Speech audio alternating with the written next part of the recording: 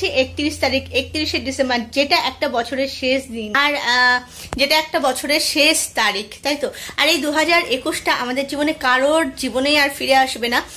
দেখবে একটা জিনিস, প্রত্যেকটা ইয়ারের সঙ্গে প্রত্যেকটা মানুষের একটা করে স্মৃতি জড়িয়ে থাকে। আমরা যে এতগুলো ইয়ার আস্তে আস্তে আস্তে আস্তে অতিক্রম করে সামনের দিকে এগিয়ে যাই, তো প্রত্যেকটা ইয়ারের সঙ্গে কিছু পাওয়া, কিছু না পাওয়া, এগুলো থেকেই থাকে। আর কিছু কিছু ইয়ার থাকে মনে হয় যেন এইসব ইয়ারগুলো বারবার জীবনে ফিরে আসুক। এই ইয়ারটাই এই ইয়ারটাই আমরা কত কিছু পেয়েছি। ভরপুর আমাদের ভরিয়ে দিয়ে গেছে, তাই না?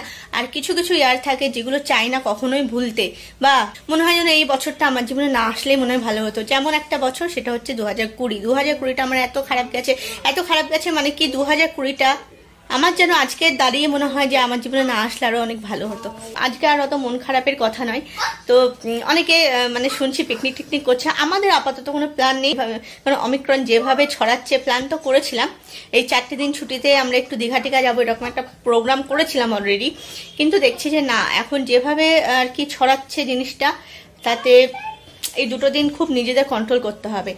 আজকে একত্রিশ তারিখটা পার্ক স্ট্রিটের যে অবস্থা, তাতে যে কতটা কি কন্ট্রোল হবে আর যতটা, কতটা কি ছড়িয়ে যাবে তার কিন্তু কোনো ঠিক নেই। তো যাই হোক, আগামী দিন আসছে, নতুন বছরে পা দেবো, নতুন অভিজ্ঞতা সামনাসামনি হব।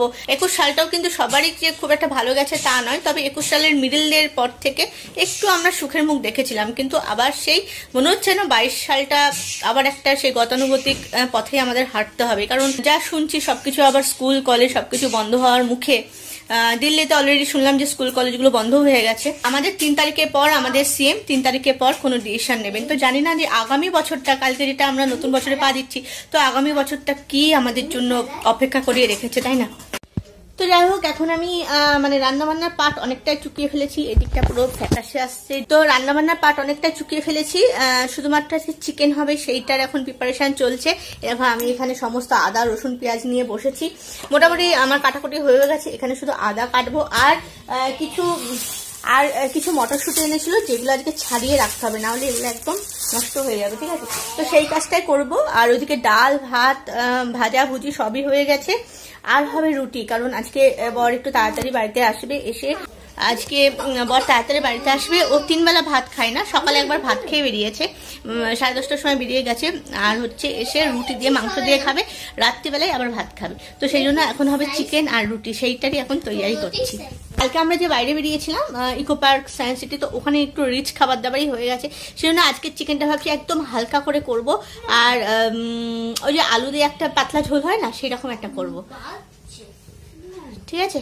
চলো তাহলে এই কাজগুলো তাড়াতাড়ি সারি।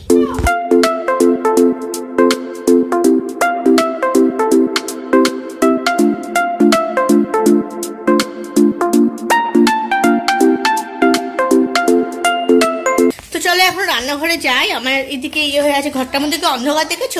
কারণ হচ্ছে, আজকে জানলা দরজা কিচ্ছু খুলিনি, বিশাল হাওয়া দিচ্ছে, পর্দাও সরাইনি। যা দরকার হচ্ছে লাইট জ্বেলে জ্বেলে কাজ করছি। সেই জন্য আমার আদা রসুন পেঁয়াজের পেস্টটা করে নিই। আদা রসুন পেঁয়াজের পেস্টটা করে নিই, এখানে মাংসটাকে বার করে রেখেছি।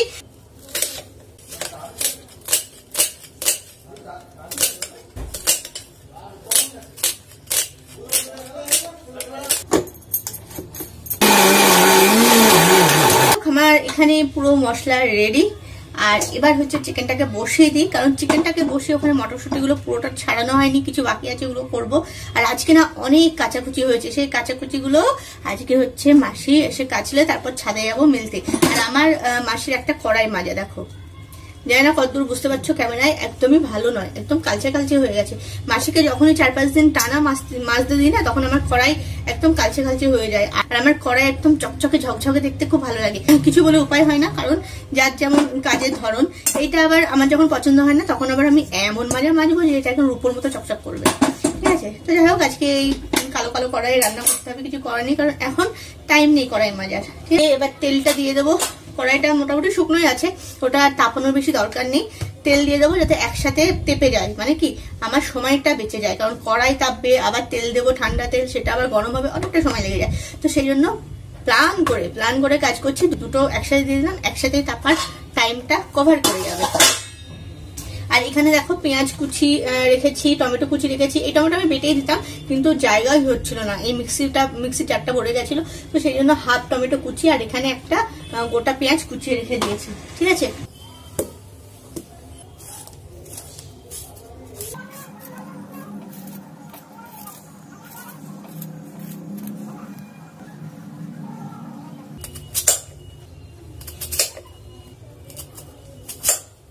এখানে কড়াই তেপে গেছে, তেল চেপে গেছে, এবার আমি আলুগুলো চটপট করে ভেজে নিই।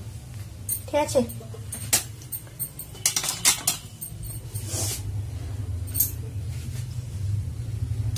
ইউজুয়ালি আমি যখন মাংস করি, আলু খুব একটা ভাজি না। আমাকে অনেকে এই প্রশ্নটা করে যে, তুমি তো আলু ভেজে দিলে আলু ভাজি না। কারণ রান্নার স্টাইল এক একজনের এক এক রকম, তাই না? তো আমি আজকে ইচ্ছা হলো না আলুটা একটু ভাজলে দেখতে ভালো লাগে, লাল লাল লাল লাল লাগে। তো সেই জন্য আজকে একটু আলুটা ভেজে নেওয়ার মনটা হলো।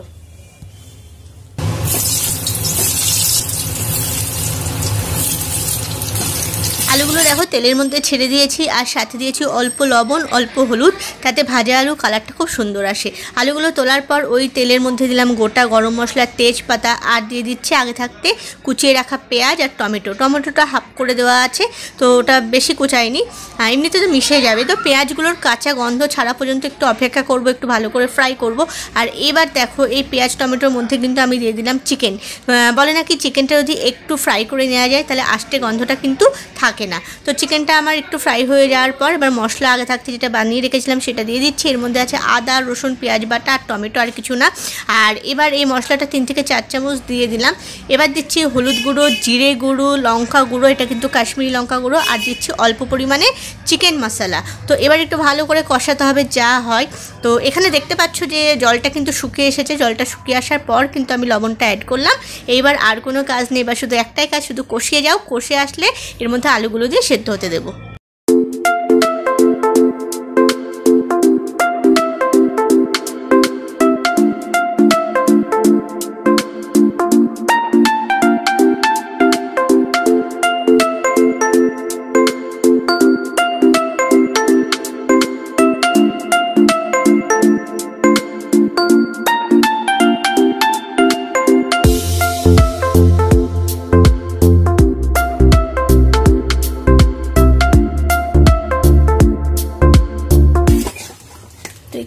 মাংসটা ভালো করে কষে গেছে, তারপর জল দিয়ে দিলাম। আর কষতে কষাতে না মাংসটা নরম হয়ে গেছে, সেই জন্য আর বেশিক্ষণ এটাকে রাখা যাবে না। তো এখনই এর মধ্যে ভাজা আলুগুলো ছেড়ে দেবো। এই আলুগুলো খুব তাড়াতাড়ি সেদ্ধ হয়, জানি না কেন, সেই জন্য আলুগুলো একটু পরে ছাড়ানোর রিস্ক আর নিতে পারছি না। সেই জন্য আলুগুলো একটু পরেও আর ছাড়বো না, একসাথে এখন দিয়ে দেবো। একটু ফুটে সেদ্ধ হলে তারপরে বাটা গরম মশলা দিয়ে নামিয়ে নেব। ব্যাস আমার চিকেনের ঝোল তৈরি হয়ে গেল। তবু এটা একদম টেলটেলে যে পাতলা ঝোল তা নয়, কারণ ওই রকম চিকেন খাওয়া যায় না। তো যাই হোক, একটু মশলা দিয়েই জলটা বেশি দিয়ে একটু পাতলা করে দিয়েছি। এই একটা শুকনো লঙ্কা ভেঙে দিয়ে দিলাম, তার জন্য যে হালকা হালকা ঝাল হবে, খেতে ভালোই লাগে, খারাপ লাগে না। এখন এই বালতি বোঝাই কাঁচা নিয়ে চললাম উপরে।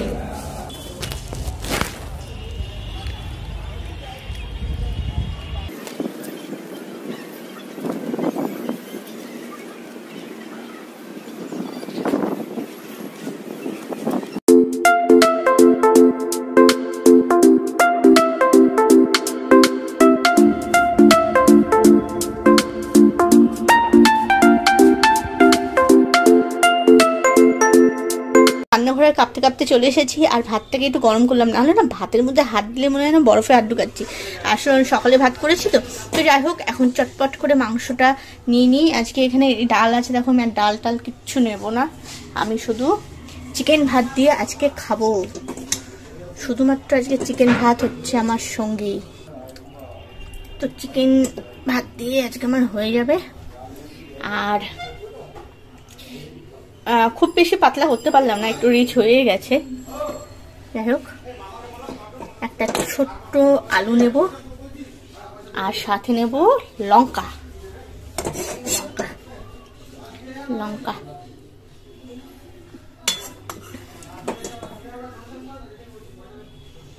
তো চলো চটপট খেয়ে নি হ্যাঁ? কি গাড়ির মনটা ভালো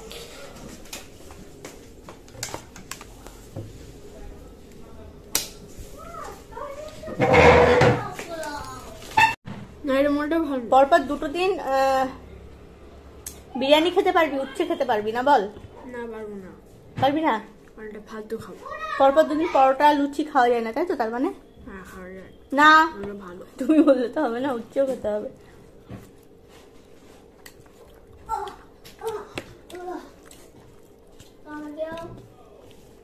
টপাটপ খেয়ে মাংস ভাত খা। ডাল আর উচ্ছে ভাজা দিয়েছি তা তো না? তাই কি? তাই।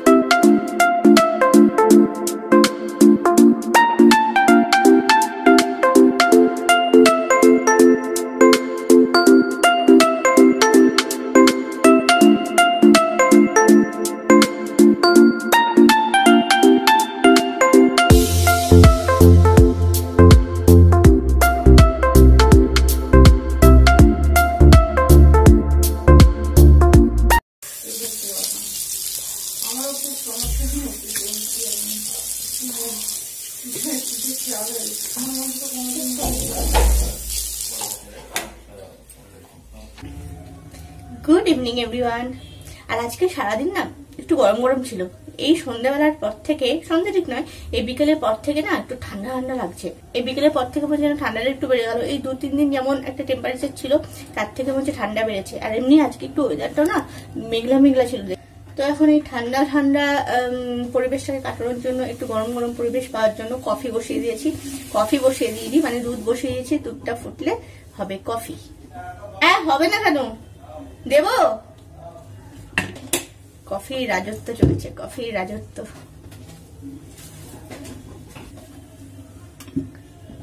শীতকালে খাওয়া চলে। গরমকালে আর কফি খেতে আমার ইচ্ছা করে না। অনেকে আছে যে দেখবে গরমকালেও কফি মানে এত ভালোবাসে ব্ল্যাক কফি হলেও খাবে, কিন্তু আমার কোনো কফি ভালো লাগে না গরমকালে গরমকালে একদম মিল্ক টি যেটা বলে সেটা।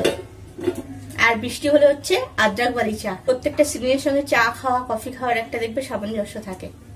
আর বর আজকে ফেরার পথে নিয়ে এসেছিল অনেক কিছু খাবার দাবার, যেমন নলেন গুড়ের রসগোল্লা নিয়ে এসেছে, ওটা আমার খুলিনি, প্যাকেটেই রয়েছে। তাছাড়াও নিয়ে এসেছে মিয়ামরের এই যে, কি বলে, চিকেন চিকেন ইন্টারনেট, এটা খুব খেতে ভালো লাগে।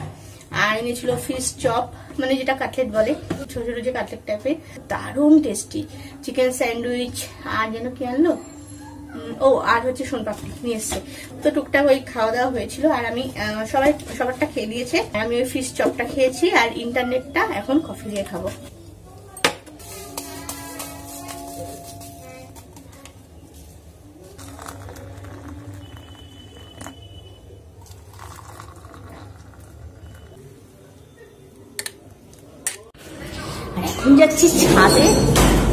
কারণ আজকে আমি একদম ভুলে গেছি যে আজকে জামা কাপড় কেচে শুকাতে দিয়েছিলাম, সেগুলো আনতে একদম ভুলে গেছি। এখন বাজে প্রায় সাড়ে ছটা। তাহলে বলো, কীরকম লাগে? দেখো, পুরো ঘুরঘুরতে অন্ধকার। কোনটা সুইচ এদিকে আছে তো, দেখো জামা কাপড়গুলো একটাও কিচ্ছু তোলা হয়নি। একদম বেমালুম ভুলে গেছি। কি করে ভুলে গেলাম তাই বুঝতে পারছি না। তো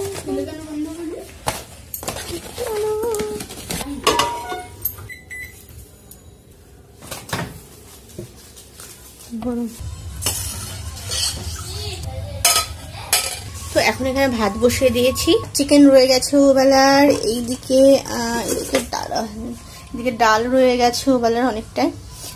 তিনজনের হয়ে যাবে, আমার লাগবে না। বেগুন পোড়া দেবো সে তোমাদের একটা ব্লগে দেখিয়েছিলাম না? ওই যে কি বলে, তাল বেগুন। ওরা দোকানে তাল বেগুন বলে বিক্রি করছিল।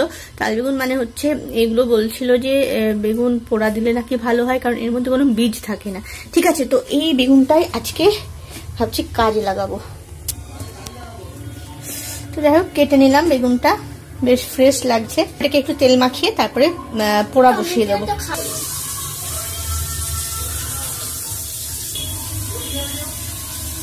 এই হচ্ছে বেগুন পোড়া, বসিয়ে দিলাম। আর বেশ বড় ধরনের বেগুনটা আছে, অনেকটাই হবে। তো এখানে বেগুন পোড়ানোটা হয়ে গেছে, ভাতটা নেমে গেছে। আর কোনো কাজ নেই, শুধু খাওয়ার আগে বেগুন পোড়াটা ভালো করে মেখে নেব।